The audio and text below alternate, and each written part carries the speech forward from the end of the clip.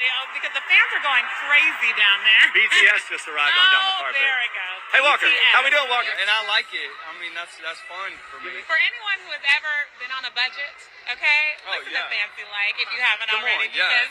It's a love song for, for people with mortgages and kids and stuff I like love that. it. Well, okay, and I guess it, maybe this is maybe you've already answered the question with your own lyrics, but give me like a fancy date night for you Oh, dude, today. that's That's that's it. it. I mean, and it, and it won't change tomorrow. I mean, we're, we're simple people.